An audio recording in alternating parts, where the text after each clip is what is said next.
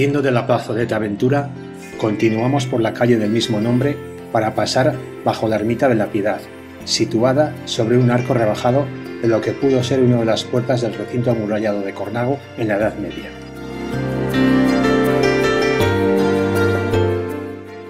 Por la calle de la Piedad llegamos al camino de la regadera, donde se encuentra el más famoso y tradicional lavadero del pueblo, muy utilizado en el periodo anterior a la traída de agua corriente a las casas.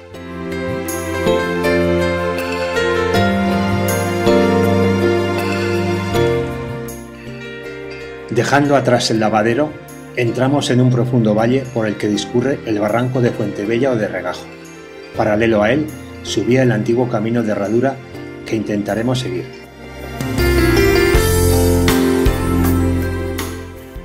Justo a la salida del pueblo, a la derecha del camino, nos detenemos un momento en el paraje denominado Radón. Este lugar es un vivero inagotable de fósiles, aunque solamente de dos clases, conchas de bivalvos y un tipo de gasterópodo llamado Waldelia.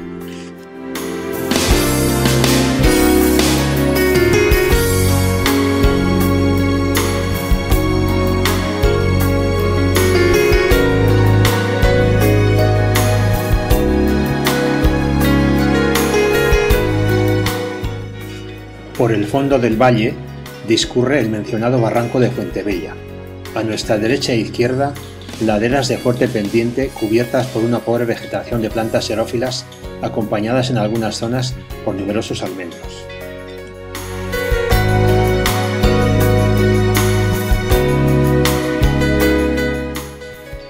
La nota de color otoñal la pone una pequeña viña que dejamos a la izquierda del camino y los numerosos chopos que vamos encontrando a lo largo del barranco.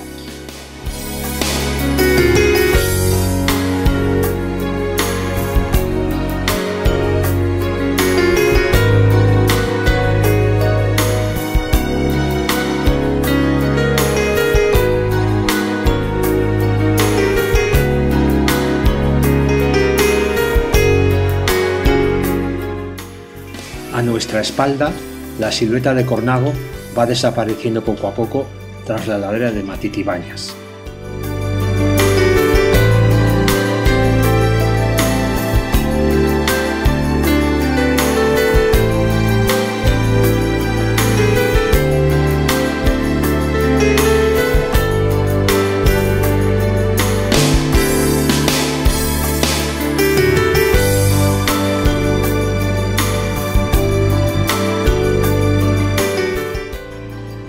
Continuando por el nuevo camino, ancho y cómodo, llegamos al paraje denominado La Toledera.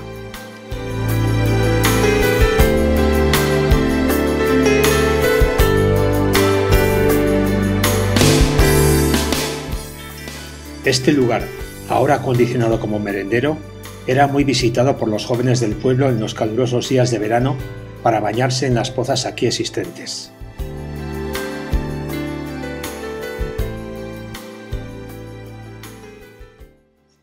También aquí, atravesando el barranco, se tomaba el camino de herradura que subía hasta la Villaneda y el Borreguil.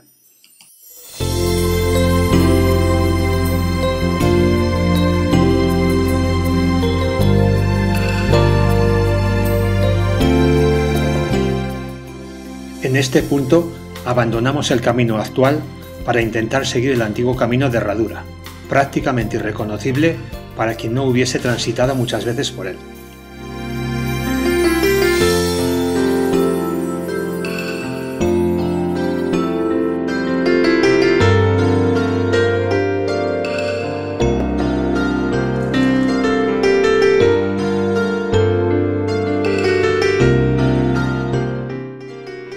Sube por la margen izquierda del barranco, y en algunas zonas, y a pesar del tiempo transcurrido, es todavía bastante reconocible.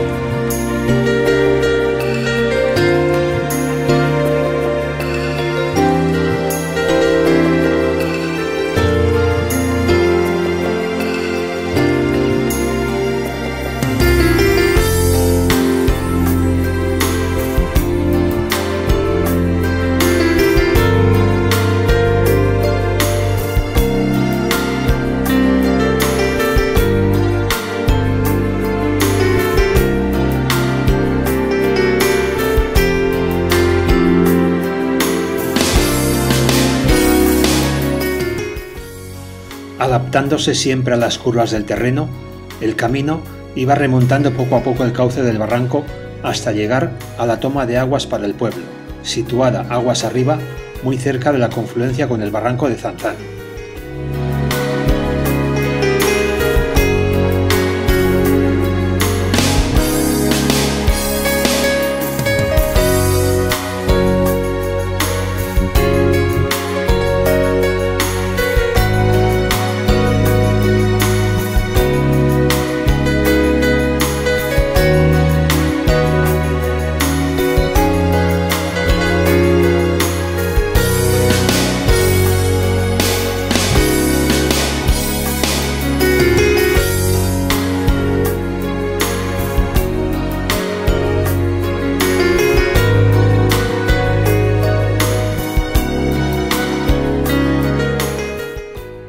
En este tramo aún podemos ver algunas de las arquetas que nos indican la trayectoria que seguía la primitiva traída de aguas hasta la villa.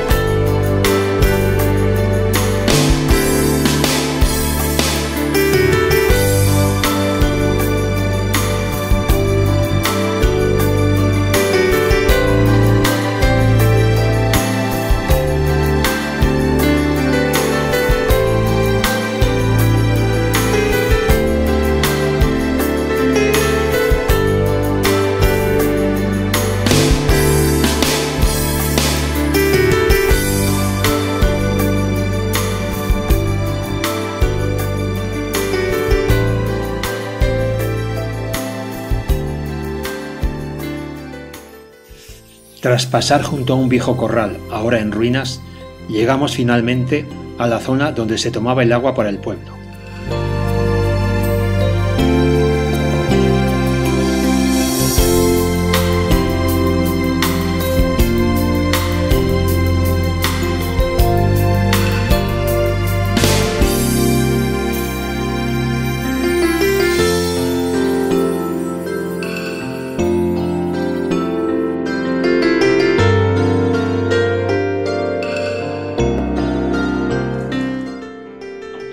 Tras ella se construyó en 1990 el actual embalse, que con un hectómetro cúbico de capacidad resolvió casi definitivamente el problema del agua en Cornago.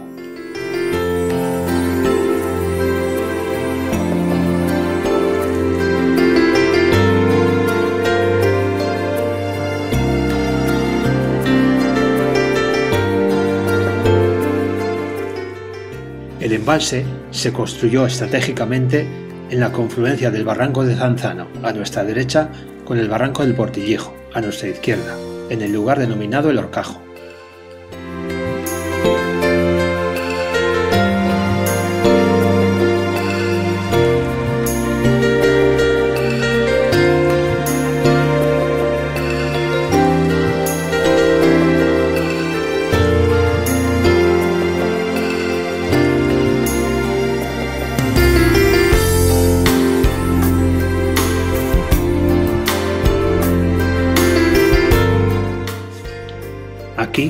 Giramos hacia la derecha y seguimos el cauce del barranco de Zanzano.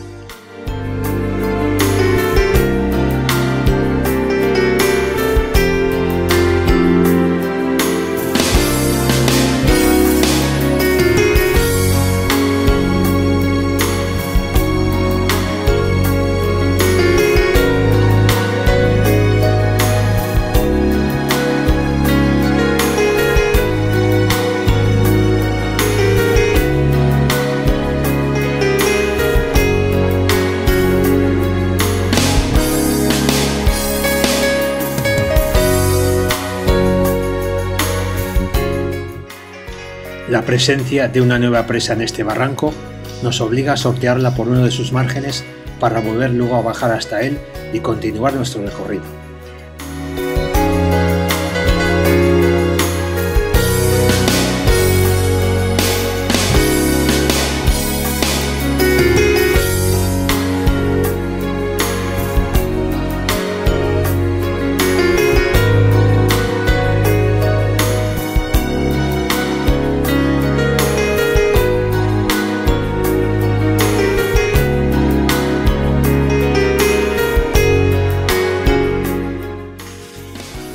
Avanzamos despacio, disfrutando en todo momento de este precioso cañón horadado por las aguas del barranco.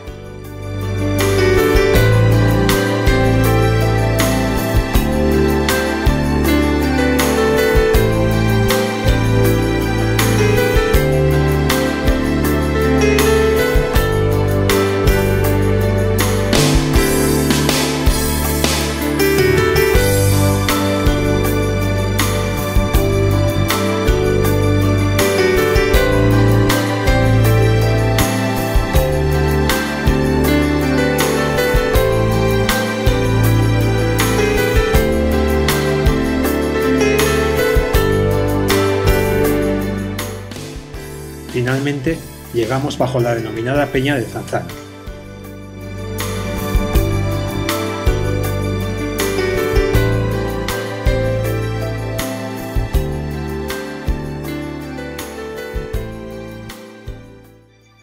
Aquí abandonamos el cauce y ascendemos por la ladera derecha hasta las ruinas de los corrales de Zanzano, desde donde se tienen unas magníficas vistas de todo el roquedo.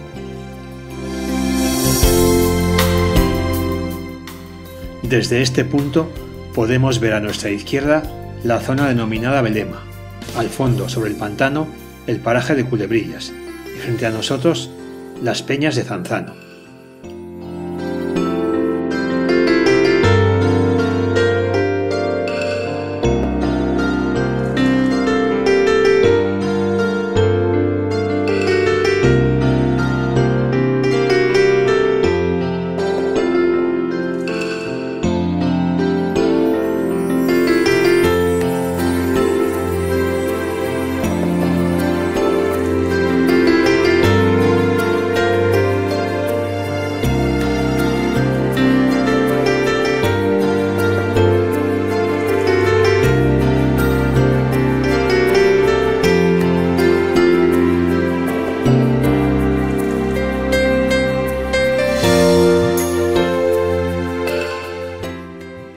Estas peñas han sido tradicionalmente zona de buitres, una extraordinaria atalaya para otear el horizonte y a donde acudían para pernoctar.